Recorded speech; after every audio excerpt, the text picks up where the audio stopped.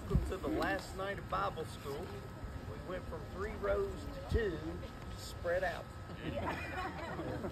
I'll try not to take that personal. Um, if you have your Bibles and you want to follow along tonight, we're going to be in the book of Acts, chapter 1. Uh, just let me remind you real quick where we've been this week. On Sunday morning, we did uh, Gadara. We called it the Mount of Deception and Decision. Sunday evening, we were in Gilboa, where Saul died. Uh, we called that the Mount of What Might Have Been. Monday was Decapolis, the Mount of Testimony, where Jesus healed all the people.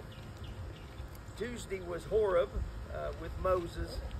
That was the night we were in the youth room, the Mount of Calling and Supposing, I would call that. Last night we were on Moriah, Mount Moriah, which is Mount Zion, Jerusalem, and I call that the Mount of Testing and Accounting. Um, I told you last night I had seven to pick from for tonight and had you pray, and I went back and forth a couple times. Here's the ones I had left. Uh, Mount Ararat. Anybody know what happened on Mount Ararat? That's where the ark landed after the flood, and I would have called that the Mount of New Beginnings. Uh, Nebo. Anybody know about Mount Nebo? Not the one up near Summersville. Mount Nebo is where God took Moses and showed him the promised land, but then buried him on that mountain somewhere. No man, no man knows where he buried him, and I would have called that the, the Mount of Vision. You know, without a vision, the people perish. That would have been a great message.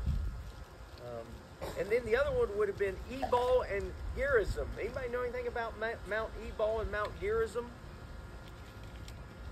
Um, that's the two mountains that are just north of Jerusalem, and they come down into a valley.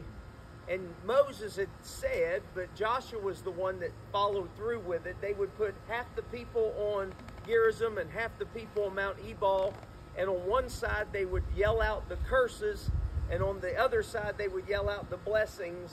And it would have been the Mount of cursing and blessing, um, or I would have called it the Mount of choices. Uh, that would have been a great message. Mount Carmel, Elijah, well, that would have been a lot of fun. I'm always tempted by that one because there's so much detail. I would have called that the mountain of ups and downs. Um, that would have been a great message. Mount Hermon, that's where Mount Transfiguration took place. That would have been a fun one. I would have called that the Mount of Evidence because that portrays what the millennial kingdom is going to be like. And then obviously there's always Mount Calvary. Uh, I would have called that the Mount of Redemption and Rejection because both things happened that day. Um, but we didn't go with those six. We went with another one. And it's in Acts chapter 1. If you're there ready to read, say amen. I want to pick up in verse 9. Verse 9. And when he had spoken these things, you're with me, say amen. And when Jesus had spoken these things, while they beheld, he was taken up, and a cloud received him out of their sight. And while they looked steadfastly toward heaven, as he went up, behold, two men stood by them in white apparel, which also said, Ye men of Galilee, why stand ye gazing up into heaven? This same Jesus, which is taken up from you into heaven, shall so come in like manner as ye have seen him go into heaven. Notice verse 12, last verse. Then returned they unto Jerusalem from the mount called Olivet, which is from Jerusalem a Sabbath day's journey. This is the Mount of Olives, also known as the Mount of Olivet. Um, before we dive into the Mount of Olives, by the way, a Sabbath day journey is about a half a mile, is how far it is from uh, the Mount of Olives, the top of it. By the time you come down into the Kidron Valley and come up into Jerusalem, it's right at a half a mile. Uh, kind of steep both ways, wear you out, uh, but, but uh, that's all the farther it is. First of all, thanks for coming. How many of you came every single night? That's great. God bless you for it. I pray in some way, somewhere along this week, you and the Lord have talked to one another about something and uh, grown some way in your walk with Him. Because isn't that the goal of every saint? Is to get closer. Amen. We want to get closer. So uh, before we dive into the lesson, anybody have a great need you'd like for us to pray about tonight? Before we start, yes, Bob. Steve Osborne. Steve Osborne. He's mentioned him every night. Yes, Ellen. My cousin Brian Rice, he's a pastor in Canada in a Baptist church, and he's having heart issues. I'm not exactly sure what, but it was at least for him. Okay, Brian Wright. Let's remember him. Then let's pray for Grayson uh, Gay. She's a 13 year old girl that has, it's not Tourette's, it's called Rett syndrome. And uh, she fell and she fractured her hip. They don't know how, you know, what's going but, you know, I don't even know if she even knows what pain and stuff is. So just pray for her and her family that, that you, they can, Is you she know, a cover Point her. Pleasant girl? Do what? Is she here in Point Pleasant? Yes. Okay. What's her name again? nonverbal. Grayson. Grayson Gay. Grayson Gay. Day. Her mom, her mom is Renee Sayer. Okay. Remember that little girl. Yes, Candace. Olivia Joyce Louise. Remember Olivia Louise. Uh, Mary Buck needs our prayers. She was in the ER last night and having some complications. She's here tonight like a crazy woman, but uh, don't tell her I said that, Mindy. But uh, that's Mindy's mommy. Pray for Mary Buck. Virgil Queen, I'm sure still needs our prayers. Let's remember him. Anybody else? remember tonight's the uh, invitation for the kids. We've been talking a lot about that, the concerns of it. Just pray God's will's done tonight. Amen. Amen. We'd love to see some kiddos saved. And, uh, we had actually ten kids turn in their little story. I don't. Most of you may have not heard about that, but we asked them to write a story about someone being rescued from perishing, and we just explained what that meant. And ten of these little fellers wrote one, so uh, that was pretty cool. We were proud of that. So pray for these kids. Amen. A lot of them need a lot of prayer. Anyone else? All right, if not, why don't we stand as we do each night while we pray so you can stretch your legs a minute. We can talk to the Lord. Pastor, Yes? I've got to say, it's been such a blessing to be here each, each night. There's been a, a message in my heart every night, or every day, the next day. And I wanted to thank you, and I want to thank God for giving you those messages. And I thank God that I listen. Amen. Bless you, sister. Thank you. Danny Hall, will you pray for these needs, brother? Father, we just thank you for the opportunity to have our Lord. Going to be a week, Father. Uh, just thank you for, for everything going on inside the church, Lord, your kids, Lord, and the teachers and helpers. Father, we thank you for our pastor here, Lord, just brought truth to us each and every night, as he does every uh, day that we gather, Lord. And we just pray that, uh, just like Gene said, that we have been able to feast off of what we've heard and uh, grow and use that to apply it to our lives, Lord. Just looking for the same thing tonight. Just praise you, Father. We lift up these prayer requests, Lord. You know each and every one. We know the unspoken, Father. We just uh, cover them with your precious blood, Jesus. And just, we just thank you. We praise you for it. Bless the uh, message tonight. In Jesus' name. Brother. You may be seated. So the Mount of Olives, uh, the Mount of Olives, if you're in Jerusalem on the Temple Mount looking east, you see the Mount of Olives. If you leave Jerusalem, go out the eastern gate, also called the gate called Beautiful, and you head head in an easterly fashion, you're going to cross the Kidron Valley, and immediately at the foot of it, you're going to come through the Garden of Gethsemane that we're so many of us are familiar with, where Jesus prayed the night that he was arrested. And then as you start up that mount, that's the Mount of Olives. And at the very top of it, you'll come to a little town called Bethphage. And if you top over it just a tiny piece, you'll come to a very familiar spot in the scriptures, the little town of Bethany. Bethany is where Mary and Martha and their brother Lazarus was from. That's where the whole Palm Sunday initiates, where Jesus comes off the Mount of Olives and they praise him, and that's where they sing Hosanna and they put the palm branches. That's when we celebrate Palm Sunday. All of that happens coming off the Mount of Olives.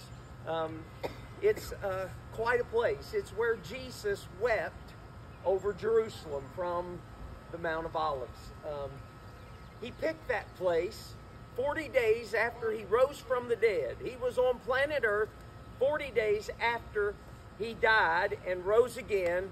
For 40 days, he hung around a little bit in Jerusalem, but mostly in Galilee. And then at the end, he ends up back in Jerusalem, goes up on the Mount of Olives, and as he's given the Great Commission to the disciples, that he's they're going to be witnesses for him unto Judea, then Samaria, and then to the uttermost parts of the earth. As he finishes talking that little story, um, the Bible says he just starts going up. He doesn't disappear, he just starts being lifted away from them. And as the disciples watch him leave, and by the way, I'm reminded there are no storm clouds in the sky. Let's give Jesus a hand. Amen. It looked bad last night going to bed for us. Amen. Uh, but, but God showed up and did a great thing. Only one night we had to forsake our assembly into the team room. Uh, I praise God for that. In this time of year, with all these storms, He was good to us. Amen. We don't want to cease to praise Him for that. But Jesus is taken up, and as they watch Him, is He waving? That's the kind of stuff I wonder. Is He waving? Is He going, to hang in there, boys? I'll see you in a bit. Bye bye. right? I don't know, but it had to be kind of cool, right? And the disciples are doing what all of us would be doing. We're waving, right? Maybe come back. Maybe not just like that, but something, right? Anybody think they're kind of sad he's leaving? I mean, I mean, this is kind of the end of sight, and now it has to become all about faith, right? And all of us, we can't wait till this faith stuff ends and it becomes sight for us, right? We get to finally see Him, to be absent from this body. If it's through death, we'll be present with the Lord, right? Right? Precious in the sight of the Lord are the, is the death of His saints. That's the Old Testament because He knows the minute we die, what we get to experience is going to be out of this world. Amen? Literally. Literally and figuratively, out of this world. Um, they're taken up, and, and as he gets so far up, as they're looking up, two angels appear and say, Why are you looking up? Well, see? Look up. You'll see why we're looking up, right? It's a no brainer to me why they're looking up. And they say, This same Jesus, as you see leave, is going to come back in like manner. Um, that's what we want to talk about tonight. The Mount of Olives is the Mount of Ascension, but it's also the Mount of Return. And, and that's kind of why, eh, eh, just, I used to love this. I tell this all the time. When I was sitting there, when, especially when I was a young guy, and the preacher was preaching, and he would tell me how God gave him the message for that day. Because I, I, lamented a little bit last night. I wasn't sure what to do. I, I just read for you all the mountains I had sitting in front of me, and I loved all of them. There was a great message in all of them, but I didn't know where to go. But I'll be honest, I've been leaning toward this one for quite a while. But this morning we had to clear off our driveway. We had some people come and seal it for us, and we told them we'd leaf blow it before they come. And when I went down there, there was a branch right next to the driveway, so I just picked it up to throw it, and it had thorns on it. And I got me a, a big one. I mean, it's huge. Actually, it's not much. It's a boo-boo. That little thing hurts. And I got thinking, Lord, does this mean you want me to do Mount Calvary and talk about thorns? That was a little, that's what I do. I spend 20 minutes walking back up our hill going, is that what this means? Did you give me that so I would think thorns? Are you guiding me? This is hard to know sometimes. Amen?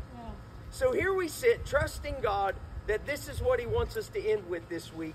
If you were here at the sunrise service. How many of you were at sunrise this past Easter? Okay, we, we talked about this very message, this idea of the return of Christ on top of the Mount of Olives. Now, most people love prophecy. It's growing on me. It's not something I always really enjoyed, to be honest. There was too much symbolism. It was hard to get my mind around it all. But in my older years, the more I'm appreciating it because it's it's about what's to come. And I, the older I get, the more excited I get for what's coming. Amen. Uh, because I got a lot more coming than I've been. All of that is a bunch of heartache back there. It seems like there's some good stuff, but for the most part, it's a lot of heartache back there. And I'm looking forward to what's to come. So let's talk about what's to come so we can talk about the Mount of Olives. Before the Mount of Olives and Jesus comes back and touches down on it, a lot's got to happen first, namely the tribulation period. Okay, and we've talked about that a little bit this week. Uh, whenever Christ decides to come get his church, and the Bible tells us the only reason he's not come yet is because he's long suffering that men would repent and come to him. Amen. He's got a, a, a group of people that's yet to come in. One of these days, the last soul will be saved, right? And the trump will sound, and the dead in Christ will rise first. That's what our faith teaches us. That's what's going to happen. Is the graves of all those believers that ever were buried, those bodies are going to be snatched up, caught up in the twinkling of an eye. All of a sudden, just whoop, right? And then we which are alive and remain. Don't you really hope you're part of this? Honestly. I really, really, really hope I'm part of the rapture. I'm not just saying that. I'd be all right if it was right now. Amen. I'm not just saying that. I'm ready to push the button. God, give me the button. I'll push it. We'll go on. Amen. This place doesn't feel like home much anymore. It just doesn't. I don't have a death wish, but I got a homecoming I'm looking forward to. Um,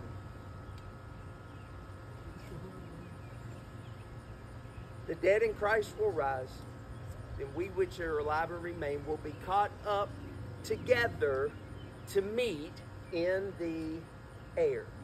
Amen.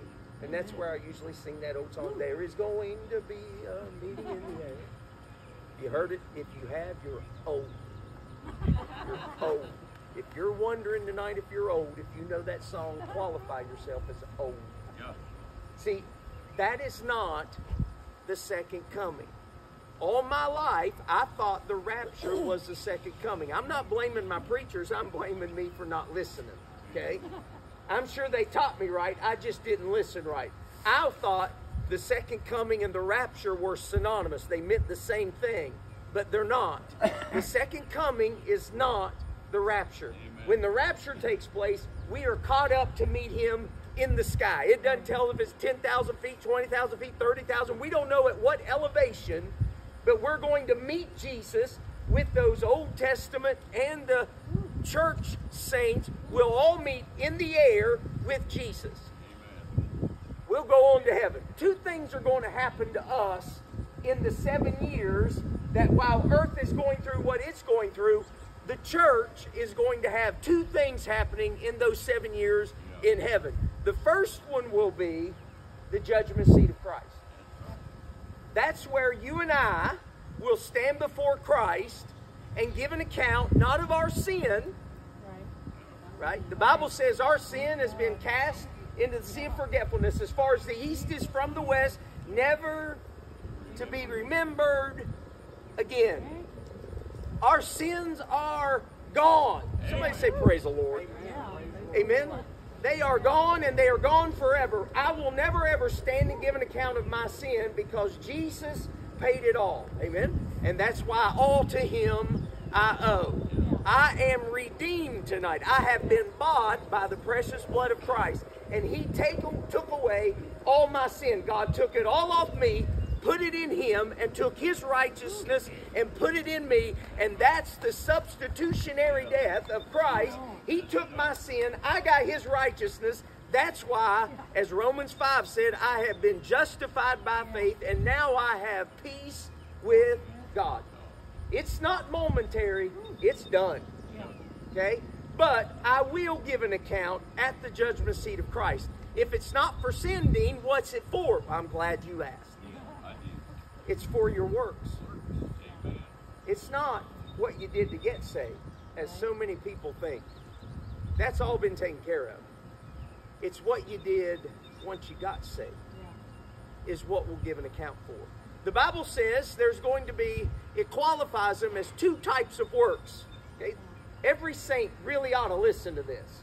If you call yourself a Christian, you really ought to listen to this because this is what you and I will be merited for in heaven. Okay? The Bible says that our works will be tried by fire. Okay? And what he's going to do is he's going to put our works through the fire, and if they're wood, hay, and stubble, what will wood, hay, and stubble do in fire? It'll burn up. It'll go bye bye. It'll be no more. Amen? It will be gone. So there will be something, and I always say, imagine a conveyor belt on this side goes through a fire, and out the other side is another conveyor belt where whatever went through there comes out over here. And over here, there's going to be just picture Aldi's bags, big brown Aldi bags, full of your work, stuff you did under the umbrella of because you were a Christian. Maybe it's your choir, maybe it's maybe it's teaching class, maybe it's just coming to church. Maybe that'll make it. All of this stuff we did because we felt like God was asking us to. And it's on that conveyor. And you and Jesus are going to stand there and shove that stuff into the fire. And if it's wood, hay, and stubble, it won't come out the other end. But the other qualification is if it's silver, gold, or precious stone, it will not only survive the fire, it will be refined by the fire and come out the other end as a reward. As a reward. You say, Dean, what makes something, if it made it to heaven and it's a work and it's there, Jesus recognizes it was something you did, what makes it something that survives fire or not?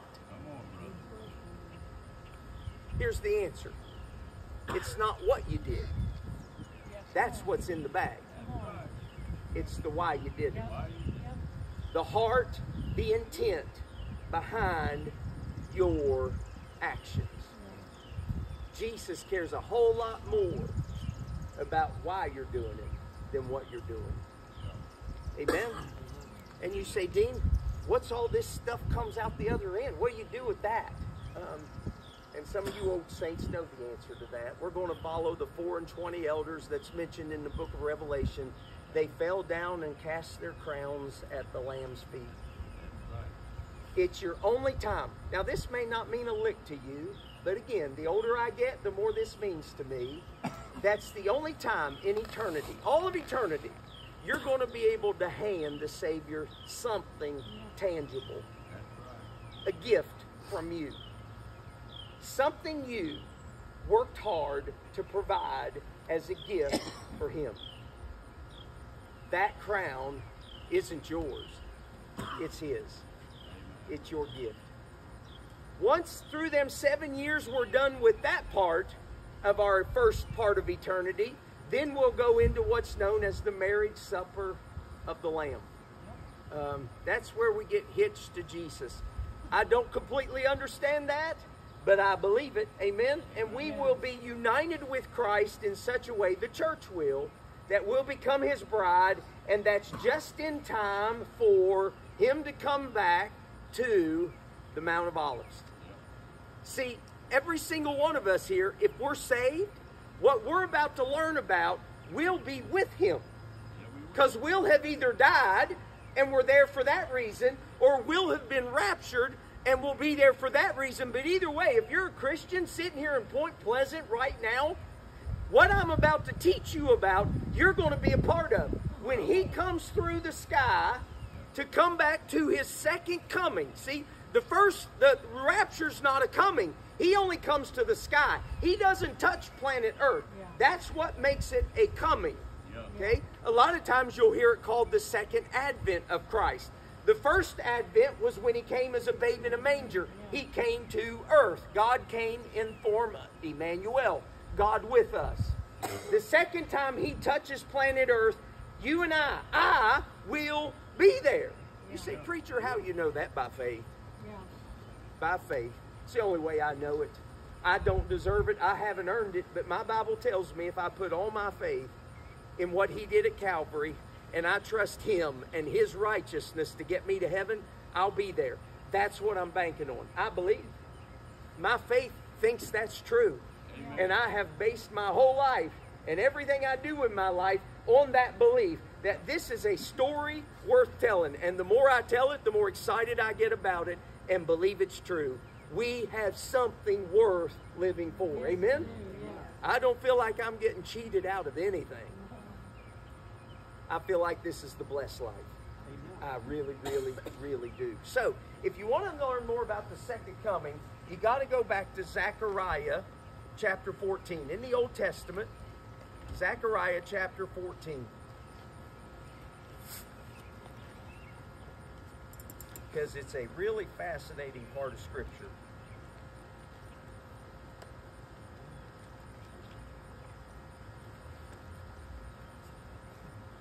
Zechariah 14. If you haven't found it yet, just stare at your Bible as if you have. We won't know. Ain't nobody gonna come look.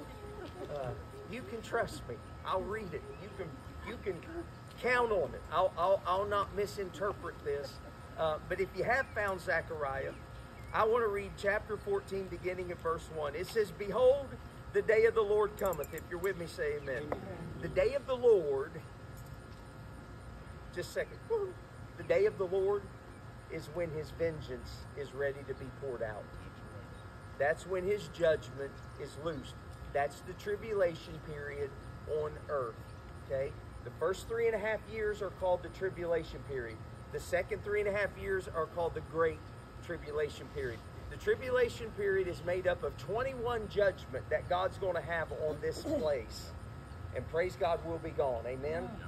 Seven seals that will lead to seven trumpets that will lead to seven vials or bowl judgments.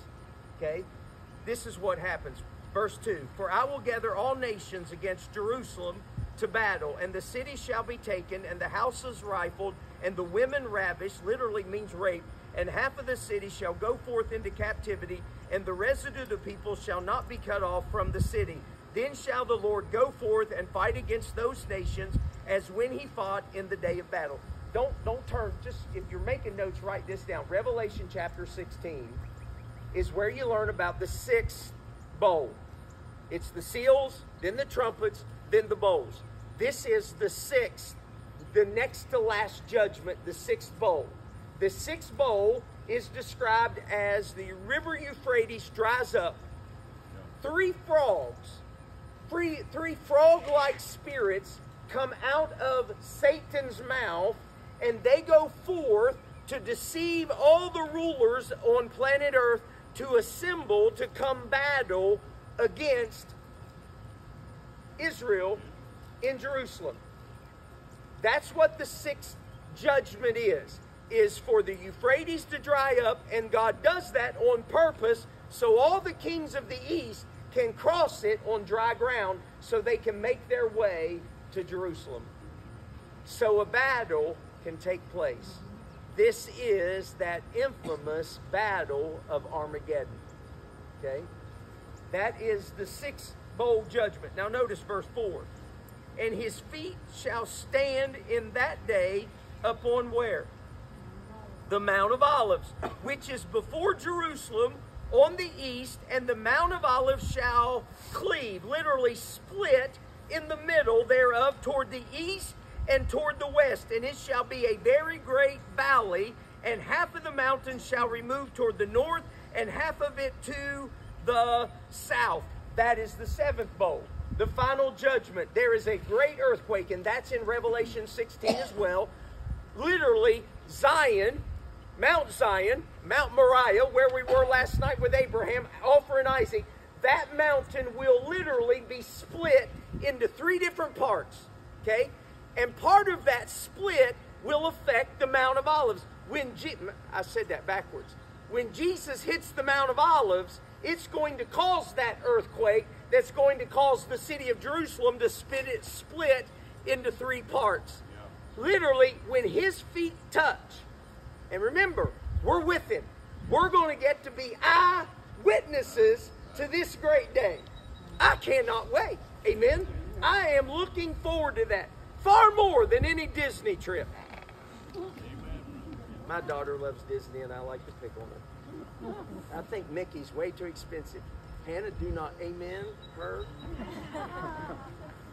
You like Disney and you know it's amen. Good. You're all with me. We rule.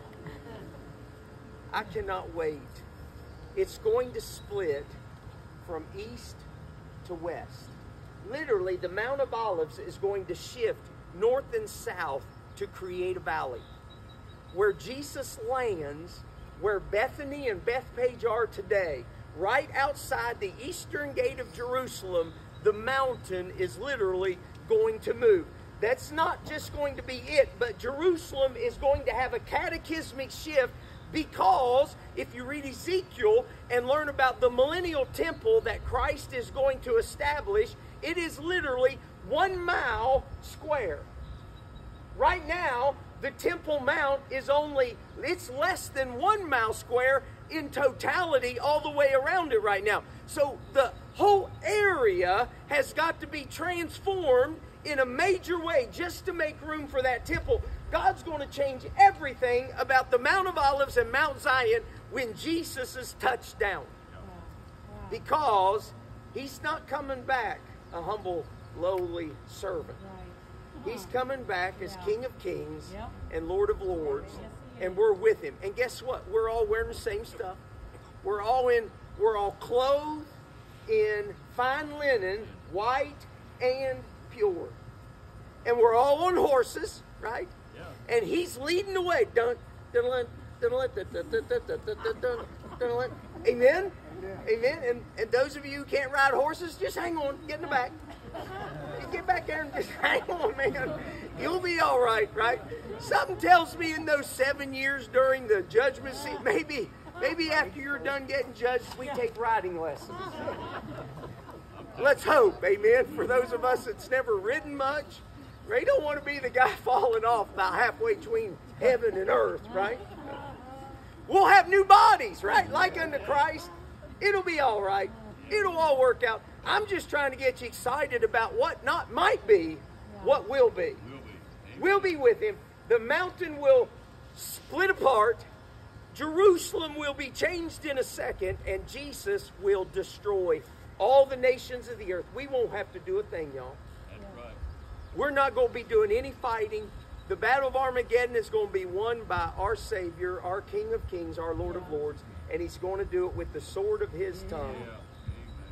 I don't know how all that's going to work, but you know, the most notable fact about the Battle of Armageddon that we've all been taught, if you've been taught much about the Battle of Armageddon, is how high the blood runs in the valley of Jezreel. And as I told you, we've stood on Mount Carmel overlooking the valley of Jezreel, and this is what I literally stood there and thought about. How many gallons of blood would it take to fill that valley up to the horses' bridles? The sword of Jesus' tongue is going to annihilate all those who chose not to believe and persecute his people, the Jews, during the tribulation period. Um, when that happens, the Mount of Olives splits. There's this earthquake in Jerusalem. The Bible says, out of the temple. Now, how quick the, Jesus has this temple built, we'll see. But out of it to the east is going to flow water.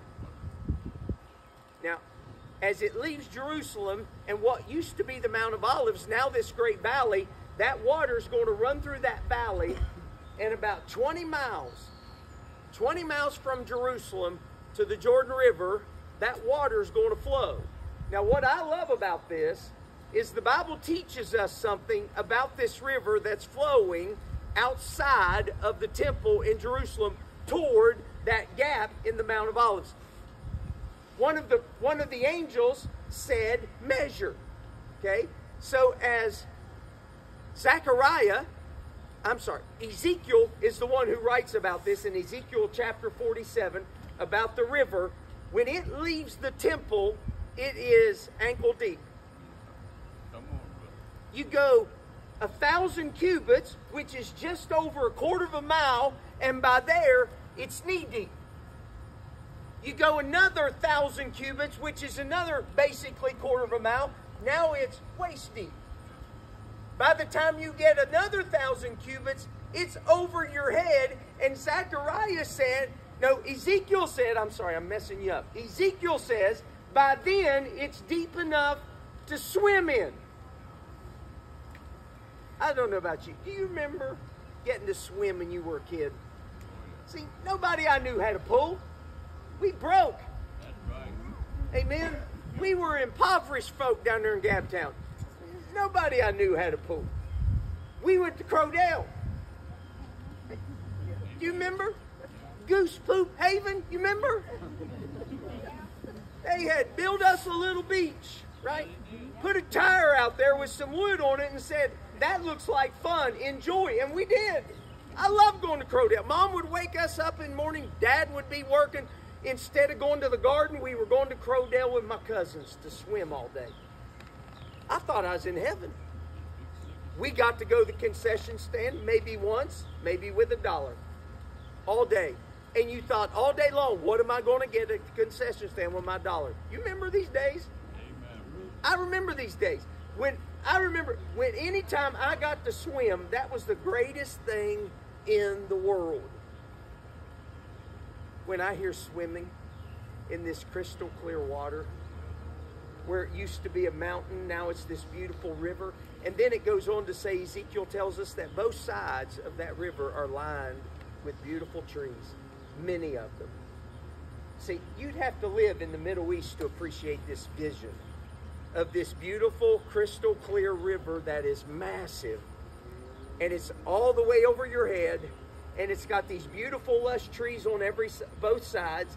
And then it is so much water that it goes to the Jordan River, turns south, and it turns the Dead Sea that is so sodium based, so many minerals, nothing can grow in it today. It's going to turn it into fresh water. I love that. A place that there was no drinkable water will now be a place to go swimming. And there's going to be all kinds, a multitude of fish. I'm not a big fan of fish in the sense of eating it. I don't mind catching them. Amen. Eating them, I need a little batter, right? A little Long John Silver. Uh, Captain D's ain't too bad. But, you know, the older I get, the more I can try to eat it. I don't mind, uh, what is that called? The, the salmon? Huh? No, the salmon at the hospital. We always got salmon stir fry in the hospital room. It was pretty good. It didn't taste like fish. As long as it don't taste like fish, I don't mind it too bad. But it's going to be full of fish. And there's going to be people casting nets all the time for all the fish they want.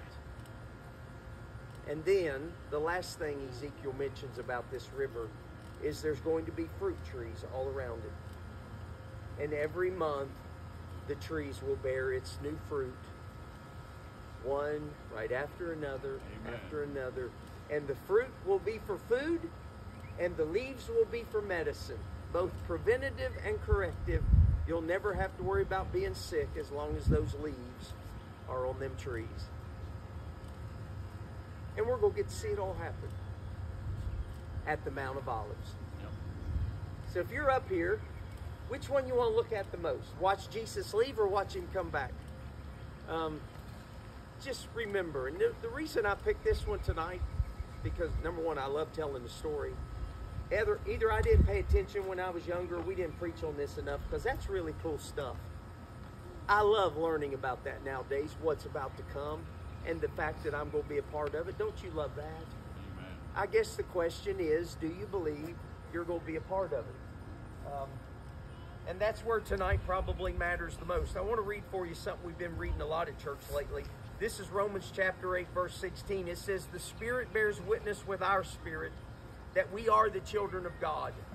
Let's can, let's just be real for a minute, everybody. We, this is our last night, our last few minutes together. If you call yourself a Christian, okay, the Bible says that your spirit, your your your innate you, Something about the inside of you, the Spirit of God bears witness with your spirit that you are a child of God. Somehow you know that, okay? It's not a guess, it's not a hope so, it's a, there's a sense you can't deny. It bears witness that you are a child of God, okay? Now, there's a couple ways I know this. What time is it? I, I can't tell out here. It is seven thirty-two. 732. Listen, we we have an enemy that that tempts us all the time. And we have a God who is testing us all the time. Amen. The simplest way I've ever put it, and it makes sense to me, is we've got a God who's always trying to get us to do sit ups, right? He's always growing us, always trying to make us stronger, always trying to get us to be better than we've been, right? Anybody, anybody notice that side of life with God? Is He's always trying to mature you? That is the truth of sanctification. He's always working on you. No matter how old I am, He's working on something. Please, somebody amen that if that's true in your life too. It's like He's always working on something. That's part of what the Bible says. He's He's always, until we go home, going to be. How does your spirit bear witness with His spirit that you're a child of God? God says, "Whom He loves, He chastens." You ought to know that, amen. I've said many times when my dad hollered out the window, Gary Dean Warner, get in this house, all my friends went, right? Nobody stood with me. That was my dad, amen. And I had to go face my dad. You ought to know what it is to face the God of heaven because you're not perfect. Amen. Amen. I should have got more than that. Do you all not live with you? Amen.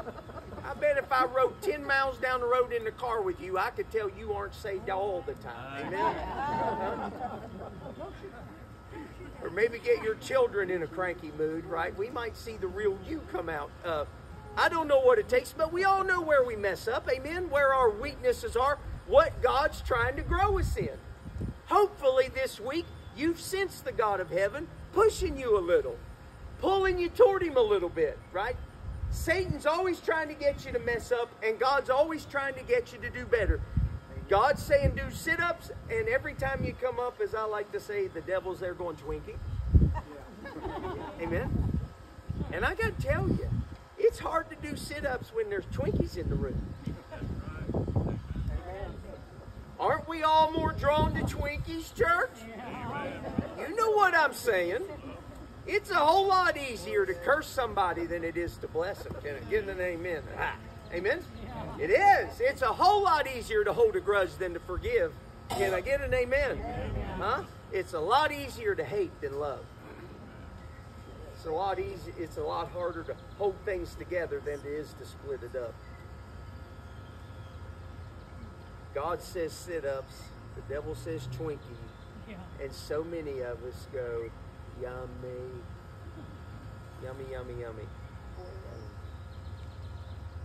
But if if your if your spirit bears witness with His spirit that you are a child of God, that's what you need to settle tonight. Can you sense His Spirit because He's in you? The Bible says when you get saved, you receive the Spirit of God. That's part of our inheritance. It's the down payment of everything else is we get the Holy Spirit now. Okay? It's the down payment of the big deal that's to come. It's our assurance, it's already ours, is we have the Spirit. And the way that bears out, honestly, it's there's positive too. There's there's comfort. When nothing else will get you through. Nobody can comfort you. Somehow the God of heaven shows up and he does stuff this world can't do. The peace of God that passes all understanding, that keeps your heart and mind. You it's indescribable, but it's undeniable. The peace of God that comes when you need it. Amen. Um, but the chastisement of God is probably the one I talk about the most because it's the one I've always sensed the most. Um, I've said this many times. I probably sense God more in my life when I was away from Him than I do today when I'm trying to live for Him because He was constantly chasing me. I'm so thankful he did that for me. But then it goes on to say, if you can be convinced that bearing witness inside of you, then if you're a child, you're an heir. And if an heir of God, then join heirs with Christ, if so be that you suffer with him, that you may be glorified together. If we suffer with him, we'll be glorified with him. That's where our church is right now in our normal studies, is talking about the glorification of the saint. Someday, the Bible says, we will be glorified as Christ is. The body he has, we will get rid of this old vile body and we'll have a new body like unto his. We're going to get that. And it's going to be a glorified body. Like he's shown on Mount Transfiguration, you and I will shine with him when we come back, when he comes to set up his kingdom that we just described at his second coming. But part of the knowledge that you're really his is that you're suffering with him. And we're just starting to get into what that looks like in 2023 for a saint to suffer because we don't have snipers in trees, praise the Lord. Amen. Nobody's trying to burn down our church, but there is suffering in our day and age. If nothing else, it's a spirit of willingness to suffer. Whatever it costs me, I'm in. No matter what it may cost me, I'm in, is the sense. And if that's the case, here's what we need to know tonight. Paul said, For I reckon that the suffering of this present time is not worthy to be compared with the glory which shall be revealed in us. If nothing else, on this last night, I just want to make sure we all leave here thankful. We know where we're going. And we know whatever we go through down here, that's going to be worth it. Amen? One of my favorite old hymns is When We All Get to Heaven. Amen? And my favorite verse, I always like it, is just one glimpse of Him in glory will all the toil of life repay. You believe that? Do you believe it's still worth it? Absolutely, it is. And I feel like a, a, a coach in a locker room. Come on, boys, let's get it. Amen. Let's not give up now. We got to fight the fight. Amen, amen, amen, amen. We've been blood, sweat, tear for a week. Let's go get it, get it, get it, get it. Amen. Amen. Uh, all the neighbors are going, what are they doing? We're celebrating our faith. Amen. Celebrating our faith. Uh, thanks for coming. I said tonight there'd be an invitation. I'm not going to get radical with that. I believe if the God of heaven's calling you, you know it. I don't have to talk you into it.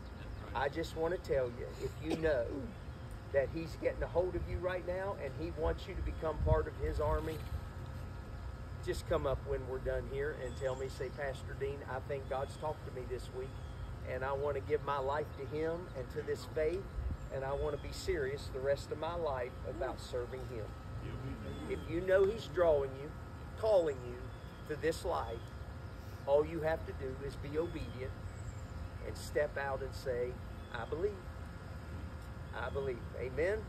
God, as I come to you now, I thank you for this week. In, in a most basic sense, I thank you for the weather. We could have been run inside several times, and that really messes up a lot of things when we have to take the team spot and they've got to find an alternative spot. And Lord, you're blessing that group. And the last thing we want is to make Jimmy's have a challenging time teaching them. So, Lord, we needed to be out here and we needed it to be comfortable for people to sit. Uh, and we thank you for those big trees that somebody planted a long time ago that gave us shade this week. God, thank you for holding off the rain and giving us the week we've had. But Lord, beyond that, for the spiritual things, Lord, I pray that you've met some needs in some lives that sit here this week. God, I pray that you will receive all the honor and the glory. May there be much thankfulness in people's hearts towards you for what you've done for them as a result of what they've heard this week. May you be lifted up in their lives more than you've ever been lifted up. May they truly worship you as their Lord and Savior in a genuine way. God, help us all.